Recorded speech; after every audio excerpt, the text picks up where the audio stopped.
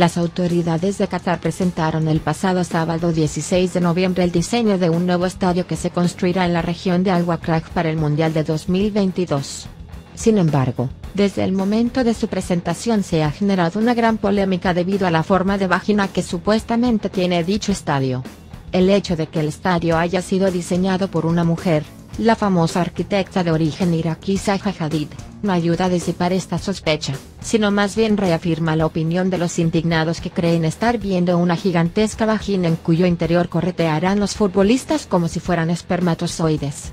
La polémica comenzó en el Reino Unido pero ya ha llegado a Qatar, donde muchos creen que, efectivamente se trata de una monumental vagina. El estudio de Zaha Hadid ha indicado que el diseño se basa en una embarcación de pesca tradicional de Qatar, llamada Doul.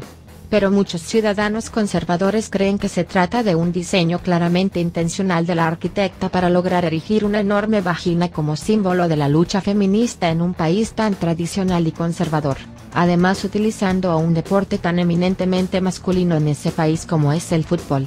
En las redes sociales hay quien opina que el estadio es una clara burla de la arquitecta iraquí a la sociedad islámica, y otros que dicen no ver la vagina por ningún lado. ¿Qué opinas tú? ¿Ves una vagina?